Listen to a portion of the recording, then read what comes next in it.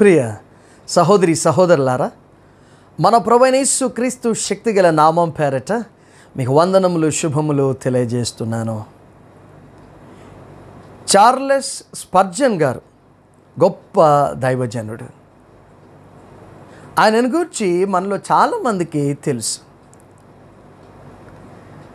ఎంత గొప్ప దైవజనుడు అంటే అతనికి బోధకులకు అధిపతి ప్రిన్స్ ఆఫ్ ప్రీచర్స్ అనే పేరు. అతని కూటములలో వేలాది మంది తమ పాపములను ఒప్పుకుంటూ దేవుని కృప వలన రక్షింపబడుతూ వచ్చేవాళ్ళు. చాలామంది రక్షింపబడేవాళ్ళు అతని కూటాలలో. అయితే ఈ రీతిగా అతడు దైవ సేవలో బహు బలంగా పరిచర్య చేస్తున్న క్రమములో కాలంలో వేలాది మంది అతని కూటములలో దేవుని వైపు తిరుగుతూ రక్షించబడుతున్నప్పటికీ కూడా అతని జీవితంలో ఒక బలహీనత ఉండేది. అతడు సిగరెట్లకు బానిస. అతని బలహీనతను గురించి తెలిసిన చాలా మంది కూడా ప్రభు వైపు తిరిగినప్పటికీ రక్షించబడినప్పటికీ కూడా తమ జీవితాలలో ఉన్న కొన్ని చెడు అలవాట్ల నుండి విడిపించబడటానికి బయటికి రావటానికి స్పర్జన్ గారి జీవితంలో ఉన్న ఈ చెడు అలవాటు దురలవాటు ఒక ఆటంకంగా ఉండేది. ఆ పెద్ద బోధకుడే చేస్తున్నాడు కదా. కాబట్టి వాళ్ళు రక్షించబడుతున్నారు కానీ కొన్ని కొన్ని చిన్న చిన్న దురలవాట్లు చెడు అలవాట్లు తమ జీవితాలలో అలాగనే కలిగి ఉండేవాళ్ళు కారణం ఈ బోధకుని జీవితంలో ఉన్న ఈ బలహీనత వారు సంపూర్తిగా అన్నీ విడిచిపెట్టి దేవుని వైపు తిరగటానికి ఒక ఆటంకంగా ఉండేది. ఇటువంటి పరిస్థితులలో ఒక రోజు చార్లెస్ స్పర్జన్ గారు మార్కెట్ రోడ్డులో వెళ్తూ ఉండగా ఒక షాక్ ఒక షాప్లో కనబడినటువంటి దృశ్యం అతన్ని షాక్కు గురి చేసింది.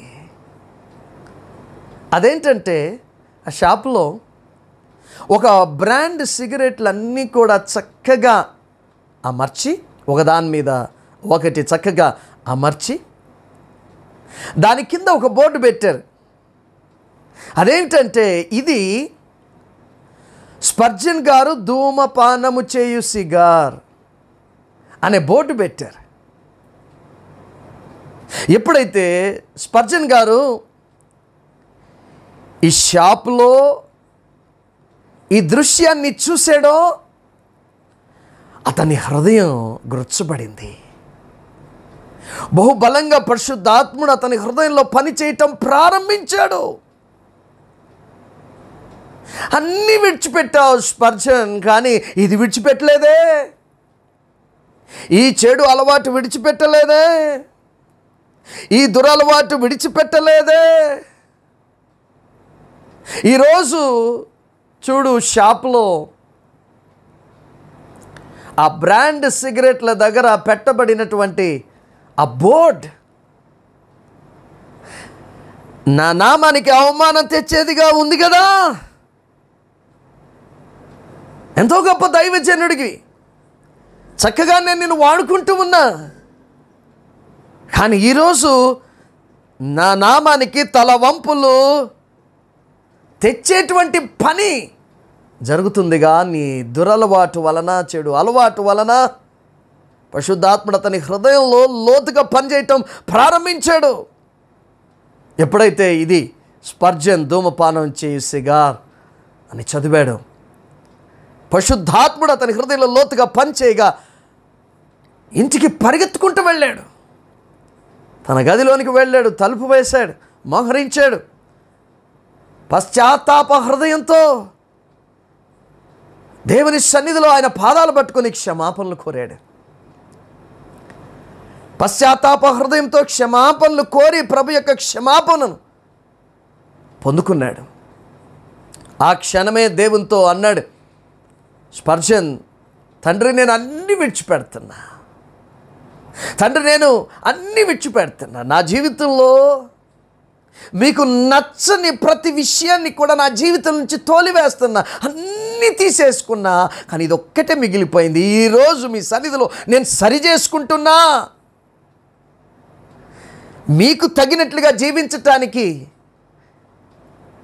మీరు కోరినట్లు జీవించటానికి నా జీవితంలో ఉన్న ఈ చెడు అలవాట్లు కూడా నేను ఇంతవరకు ప్రేమిస్తూ వచ్చిన ఒప్పుకొనని విడిచిపెట్టని ఈ దురలవాటును కూడా ఈరోజు మీ సన్నిధిలో నేను ఒప్పుకొని విడిచిపెడుతున్నా. ఇక దాని జోలికి నేను పోనయ్యా సిగరెట్ల జోలికి పోనయ్యా అని చెప్పి పశ్చాత్తాప హృదయంతో దేవుని క్షమాపణలు కోరుకొని దేవుని క్షమాపణను పొందుకొని ఆ రోజు నుండి అతను సిగరెట్ తాగటం మానేశాడా? బలహీనతను విడిచిపెట్టాడు ఆ చెడు అలవాట్లను విడిచిపెట్టాడు సంపూర్తిగా. మరొకసారి తన్ను తాను దేవునికి సమర్పించుకొని బలమైన పరిచర్య జరిగించాడు. ప్రియ సోదరి సోదరుడు చిన్న దృష్టాంతం. మీ హృదయాలలో లోతుగా పనిచేయునుగాక. మీరు రక్షించబడ్డారు. ప్రభును వెంబడిస్తూ ఉన్నారు. ఈ క్రమంలో చాలామంది వారు దేవుని వైపు తిరిగే క్రమములో యేసు రక్తంలో కడగబడే క్రమములో తమ పాపములను ఒప్పుకొని విడిచిపెట్టే క్రమములో తాము ప్రేమించే కొన్ని చిన్న చిన్న పాపాలు తప్పులు పొరపాట్లు లోకానికి సంబంధించినవి కావచ్చు శరీరానికి సంబంధించినవి కావచ్చు సాతానికి సంబంధించినవి కావచ్చు. కొన్ని కొన్ని చిన్న చిన్న పాపాలు విడిచిపెట్టకుండా వాటిని ప్రేమిస్తూ తమ జీవితాలలో అట్టే పెట్టుకొని ప్రభును వెంబడిస్తూ ఉంటారు. కొన్ని కొన్ని ఒప్పుకొనని పాపములు విడిచిపెట్టని పాపములు ప్రేమించే పాపములు వాటిని విడిచిపెట్టడానికి మనకు మనసు రాదన్నమాట. కారణం వాటిని ప్రేమిస్తున్నాం మన జీవితాల్లో ప్రభు వైపు తిరిగే క్రమంలో అనుకుందాం ఉదాహరణకు వంద పాపాలు చేస్తున్నాం. మనం ఏం చేస్తామో తెలుసా? తొంభై ఐదు పాపాలు విడిచిపెడతాం క్షమాపణలు పొందుకుంటాం. ఒక ఐదు పాపాలు మూడు పాపాలు రెండు పాపాలు ఒక పది పాపాలు మనం వాటిని ఒప్పుకోవడం విడిచిపెట్టడం వాటిని ప్రేమిస్తున్నాం. ఎందుకంటే వాటిని ప్రేమిస్తున్నాం. అందుకనే చాలామంది వీటిని పెట్ సిన్స్ అంటారు ప్రేమించే పాపాలు. ఒప్పుకొనని విడిచిపెట్టని ప్రేమించే పాపాలు. వాటిని విడిచిపెట్టడానికి ఒప్పుకొని విడిచిపెట్టడానికి మనకు మనస్సు రాదు. ప్రియ సోదరి సోదరుడా దేవుడు నీతో సూటిగా మాట్లాడునుగాక. నీ జీవితంలో నీ విశ్వాసపు యాత్రను కొనసాగిస్తున్న ఈ సమయంలో నీ జీవితంలో ఎక్కడైనా నువ్వు ఒప్పుకొని నీ పాపాలు తప్పులు పొరపాట్లు వాటిని మనం ముద్దుగా పిలుచుకుంటుంటాం బలహీనతలు. నేనేం చేద్దునన్నా అది నా బలహీనత అని చెప్పి సాకుగా తప్పించుకుంటూ ఉంటాం. కొంతమంది దైవజనులు మనల్ని హెచ్చరించినప్పుడు అవి నా బలహీనత నేను విడిచిపెట్టలేకపోతున్నా కానీ పశుద్ధాత్ముడు సహాయం చేయగలడే? తండ్రి అయిన దేవుడు కుమారుడైన యేసుక్రీస్తు పరిశుద్ధాత్ముడు త్రియేక దేవుడు మన జీవితాలలో హృదయాలలో శక్తివంతంగా పనిచేసే త్రియేక దేవుడు. మనకి సహాయం చేస్తాడుగా. మనకు చేత కాకపోవచ్చు మనకి సాధ్యం కాకపోవచ్చు. కానీ త్రియేక దేవుడు మన జీవితాల్లో పనిచేస్తున్నటువంటి త్రియేక దేవుడు మనకు సహాయం చేస్తాడు వాటి నుంచి విడుదల పొందటానికి. సోదరి సోదరుడు ఆ వాక్యాన్ని వింటున్నావుగా? నీ జీవితంలో ఎక్కడైనా ఒప్పుకొనని పాపం ఉందేమో? విడిచిపెట్టని నువ్వు ప్రేమించే పాపం ఉందేమో? ఒకసారి నీ జీవితాన్ని పరిశీలించుకుంటావా? నీ హృదయాన్ని పరిశీలించుకుంటావా? ఉంటే ఈ సమయంలోనే పోస్ట్పోన్ చేయొద్దు వాయిదా వేయొద్దు. ఈ సమయంలోనే వాటిని ఒప్పుకొని విడిచిపెట్టు. సంపూర్ణంగా అన్నిటి నుండి దేవునికి నచ్చని ప్రతి అంశం నుండి నువ్వు విడుదల పొందాలా? నీ హృదయంలో ఎక్కడ కూడా నీ జీవితంలో ఎక్కడ కూడా దేవునికి నచ్చని మెచ్చని విషయాలు అంశాలు కనపడకూడదు. సంపూర్తిగా నీ జీవితాన్ని అప్పగించుకుంటావా? అలాంటి ఒప్పుకొనని విడిచిపెట్టి నువ్వు ప్రేమించే పాపాలు నువ్వు బలహీనతలుగా చెప్పుకుంటున్నటువంటి పాపాలు ఉంటే నేడే ఈ క్షణంలోనే పశుధాత్మని సహాయంతో ఒప్పుకొని విడిచిపెట్టు. ఎందుకంటే బైబిల్ చెప్తుంది భక్తిహీనతను ఇహలోక సంబంధమైన ప్రతి దురాశను మనం విడిచిపెట్టాలా? తీతుకు రాస్తూ రెండవ అధ్యాయంలో పదకొండు నుంచి పదమూడు వచనాల్లో ఈ విషయాన్ని మనం చదవగలం. అలాగే లోకంలో ఉన్నదంతయు అనగా నేత్రాశ శరీరాశ జీవ డంబాలను మనం ప్రేమించకూడదు. అవి ఏమైనా మన జీవితాల్లో ఉంటే వాటిని విడిచిపెట్టాలా? మొదటి యోహాను రెండవ అధ్యాయం పదహైదు నుంచి పదిహేడు వచనాలు. అలాగే సమస్త దుష్టత్వం సమస్తమైన కపటం వేషధారణ అసూయ సమస్తమైన దూషణ మాండ్లు ఏమైనా ఇంకా మన జీవితాల్లో కనబడుతుంటే వాటిని మనం విడిచిపెట్టాలా? మొదటి పేతురు రెండో అధ్యాయం ఒకటి నుంచి నాలుగు వచ్చినాల్లో మనం చదవగలం. సో ఈ రీతిగా అనేక చోట్ల బైబిల్లో వాక్యంలో మనం చదవగలం దేవునికి నచ్చని లోకానికి సంబంధించింది శరీర క్రియలకు సంబంధించింది సాతానికి సంబంధించింది మన స్వచిత్తానికి సంబంధించింది ధనాపేక్షకి సంబంధించింది దేవునికి నచ్చని ప్రతి విషయాన్ని మన జీవితంలోంచి తొలగించుకోవాలా? వాటిని విడిచిపెట్టాలా? కనుక ఈరోజు ఇదే అంశం నేను మీతో చెప్పుకుంటూ వస్తూ ఉన్నా. విడిచిపెట్టు ఆశీర్వదించబడు. విడిచిపెట్టు ఆశీర్వదించబడు. బైబిల్ నుంచి ఒక చిన్న ఉదాహరణ మీకు నేను తెలియజేస్తాను. అబ్రహాం మెసపతమియలో కల్దీల దేశంలో ఊరు అనే పట్టణంలో నివసిస్తూ ఉన్నప్పుడు మహిమగల దేవుడు అతనికి ప్రత్యక్షమై అబ్రహమా నీవు నీ దేశమును నీ స్వజనమును విడిచిపెట్టి బయలుదేరి నేను నీకు చూపించబో దేశానికి రమ్మని చెప్పాడు అపుస్తల ఏడు అధ్యాయం ఒకటి నుంచి నాలుగు వచ్చిన భాగాల్లో అబ్రహాము కలిగిన మొదటి ప్రత్యక్షతను గురించి మనం చదువుతాం. ఆ సమయంలో మీరు గమనించండి అబ్రహాం ఏం చేశాడు అంటే ముఖ్యంగా తన సోదరిని కుమారుడైనటువంటి లోతును తనతో పాటు వెంట పెట్టుకొని వచ్చాడు. గమనించండి దేవుని యొక్క మాట చొప్పున చిత్త ప్రకారం అయితే అబ్రహాం లోతును విడిచిపెట్టాలా?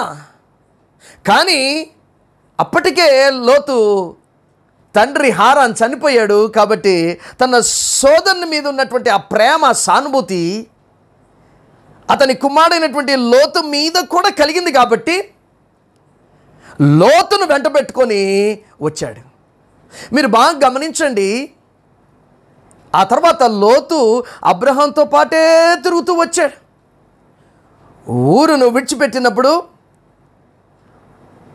ఊరు అనేటువంటి పట్టణాన్ని విడిచిపెట్టినప్పుడు అబ్రహాం లోతును తనతో పాటు వెంటబెట్టుకొని వచ్చాడు. హారానికి వచ్చినప్పుడు లోతు ఉన్నాడు. హారాన్ నుంచి కణానికి వచ్చినప్పుడు అబ్రహాంతో లోతు ఉన్నాడు. కరువు కలిగినప్పుడు ఐగుప్తుకు పోయినప్పుడు అబ్రహాంతో పాటు లోతు ఉన్నాడు. ఆ తర్వాత తిరిగి కణానికి వచ్చినప్పుడు అబ్రహాంతో పాటు లోతు ఉన్నాడు. విడిచిపెట్టలేదు. అబ్రహాం లోతును విడిచిపెట్టలే. ఈ రీతిగా జరుగుతూ ఉన్నప్పుడు మనం చదివితే ఆది కాండం పదమూడు అధ్యాయం ఒకటి నుంచి పదకొండు వచ్చిన భాగాల్లో అబ్రహాం పశువుల కాపర్లకు లోతు పశువుల కాపర్లకు కలహం వచ్చింది. అప్పుడు అబ్రహాం దేవుడి దేవుని యొక్క చిత్తానుసారంగా చేయటానికి ముందుకు వస్తున్నాడు విడిచిపెట్టడానికి ముందుకు వస్తున్నాడు. లోతులను విడిచిపెట్టాలా? లోతును విడిచిపెట్టాలా? అని విడిచిపెట్టలా? తనతో పాటు తిప్పుకుంటూ వచ్చాడు అన్ని చోట్ల. తనతో పాటు లోతులు తీసుకొని వచ్చాడు. చివరికి ఆ ఇంటిలోనికి ఆ కుటుంబంలోనికి కలహం వచ్చినప్పుడు గొడవ వచ్చినప్పుడు అప్పుడు అబ్రహాం లోతుతో అంటాడు మనం వేరుగా ఉందాం నన్ను విడిచిపెట్టి వేరుగా ఉండు. మనం వేరుగా ఉందాం. కాబట్టి ఆ సమయంలో కలహం ఇంట్లోనికి వచ్చిన తర్వాత గృహంలోనికి ఆ గొడవ వచ్చిన తర్వాత అబ్రహాం లోతుల్ని విడిచిపెట్టడానికి ముందుకొచ్చాడు విడిచిపెడుతూ ఉన్నాడు. ఆ తర్వాత గమనించండి ఆదికాండం పదమూడు అధ్యాయంలో పద్నాలుగు నుంచి పద్దెనిమిది వచ్చిన మన వరకు మనం చదివితే అబ్రహాం లోతును విడిచిపెట్టిన తర్వాత దేవుడు అబ్రహామును ఆశీర్వదించను అని మనం ఆ వచ్చిన భాగాల్లో మనం చదవగలం. దయచేసి గమనించండి. లోతు అనగా వ్రాప్ట్ అని అర్థం. చుట్టబడినది చుట్టబడినది. కాబట్టి లోతు అబ్రహామును చుట్టుకోని చుట్టుకోని చుట్టుకోని వచ్చాడనమాట చివరికి ఒకానొక సమయంలో ఆ ఇంట్లోకి గొడవలు వచ్చినప్పుడు కలహం వచ్చినప్పుడు దేవుని చిత్తానుసారం చే చిత్తానుసారంగా చేయటానికి ముందుకు వచ్చి తనతో పాటు చుట్టుకొని వచ్చిన లోతును విడిచిపెడుతున్నాడు ఆశీర్వదించబడుతూ ఉన్నాడు ప్రియ సోదరి సోదరుడా రక్షించబడ్డావు దేవునికి స్తోత్రాలు. ప్రభును వెంబడిస్తున్నావు దేవునికి స్తోత్రాలు. అయితే నీతో పాటు నువ్వు ఒప్పుకొనని విడిచిపెట్టని నీతో పాటు చుట్టుకోని చుట్టుకోని చుట్టుకొని వస్తున్న లోతులు ఎవరో? నీ జీవితంలో ఉన్న లోతులు ఎవరు? నీ జీవితంలో ఉన్న లోతులు ఏవి? నీ జీవితంలో ఉన్న లోకానికి సంబంధించిన శరీర క్రియలకు సంబంధించిన సాతాను క్రియలకు సంబంధించిన స్వచిత్తానికి సంబంధించిన ధనాపేక్షకు సంబంధించిన నువ్వు విడిచిపెట్టని నువ్వు ప్రేమించే ఏదైనా పాపం లోతుల వలె నేను చుట్టుకొని చుట్టుకొని చుట్టుకొని చుట్టుకొని వస్తుందిగా ఇంకా విడిచిపెట్టలేదుగా. అలాంటి ప్రేమించే పాపం విడిచిపెట్టని పాపం. లోతు వల్ల నిన్ను చుట్టుకొని వస్తున్న పాపం. విశ్వాస యాత్రలో ముందుకెళ్తున్నావు కానీ లోతులతో పాటు వెళ్తూ ఉన్నావు. కదా? ఇది నిజం కదా? ప్రియ సోదరి సోదరుడా నీ జీవితంలో ఉన్న లోతు ఎవరో? లోకానికి సంబంధించి శరీర క్రియలకు సంబంధించి సాతానికి సంబంధించిన స్వచిత్తానికి సంబంధించిన ధన అపేక్షకి సంబంధించిన నువ్వు ప్రేమించే లోతులు ఎవరో? అంశాలు ఏమిటో విషయాలు ఏమిటో నీకు తెలుసు. పరిశుద్ధాత్ముడు నీతో సూటిగా మాట్లాడిన గాక ఇప్పుడే ఈ క్షణంలోనే ఒక్కని వింటున్నావుగా. దేవుని సన్నిధి నీ చుట్టూ ఆవరించి ఉండగా ఒప్పుకొని విడిచిపెట్టు. విడిచిపెట్టు ఆశీర్వదించబడ. నీ జీవితంలో నువ్వు ప్రేమించే పాపాలు ఒప్పుకొని నీ పాపాలు విడిచిపెట్టని ఇంతవరకు విడిచిపెట్టని పాపాలు నిన్ను చుట్టుకొని లోతు వలె నిన్ను చుట్టుకొని వస్తున్న పాపాలు ఏవైనా ఉంటే ఒప్పుకొని విడిచిపెట్టు. విడిచిపెడితేనే ఆశీర్వాదాలు. నువ్వు ఒప్పుకొని విడిచిపెట్టు దేవుని చేతుల నుంచి ఆశీర్వాదాలు పొందుకో. ఒకవేళ కాదని చెప్పి ఇంకా ఇంకా ఇంకా నీ జీవితంలో బలహీనతలు అనేటువంటి ఈ లోతులతోనే ముందుకు ప్రయాణం చేస్తుంటే ఏదో ఒక రోజు గొప్ప నష్టం నీ జీవితానికి కలుగుతుంది నీ కుటుంబానికి కలుగుతుంది. అబ్రహం లోతును విడిచిపెట్టలే కలహం వచ్చింది ఆ ఇంట్లోకి గొడవ వచ్చింది. బుద్ధి తెచ్చుకొని దేవుని చిత్తానుసారంగా చేయటానికి నిర్ణయించుకొని లోతును విడిచిపెట్టాడు ఆశీర్వదించబడ్డాడు. దేవునితో సూటిగా మాట్లాడను గాక. దేవుని చిత్తానుసారంగా వాక్యం ఏం చెప్తుందో సంపూర్తిగా నీ జీవితంలో దేవునికి నచ్చని విషయాలు అంశాలు ఏమి ఉండకూడదు. అవేమైనా కావచ్చు. దేవునితో సూటిగా మాట్లాడినగాక ప్రి సోదరి సోదరా ఒక క్షణం రెండు క్షణాలు తీసుకో. ఈ సమయంలోనే దేవుని వాక్యపు వెలుగులో నీ జీవితంలో కనపడుతున్న పెట్ సెన్స్ నువ్వు ప్రేమించే పాపాలు. ఇంతవరకు ఒప్పుకొనని విడిచిపెట్టని పాపాలు తప్పులు బలహీనతలు నువ్వు వాటిని బలహీనతలను చెప్పుకుంటున్నావుగా. వాటిని ఇప్పుడే ఒప్పుకొని విడిచిపెట్టావు నీ జీవితం నుంచి తోలివేసాయి. నీ జీవితం నుంచి వాటన్నిటినీ కూడా తొలగించుకో. దేవుని ఆశీర్వాదాలు పొందుకో.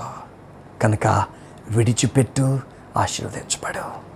దేవుడు ఈ బలమైనటువంటి పరిశుద్ధాత్మని యొక్క కార్యం ప్రక్షాళన కార్యం పరిశుద్ధపరిచే కార్యం నీ జీవితంలో చేయునగాక.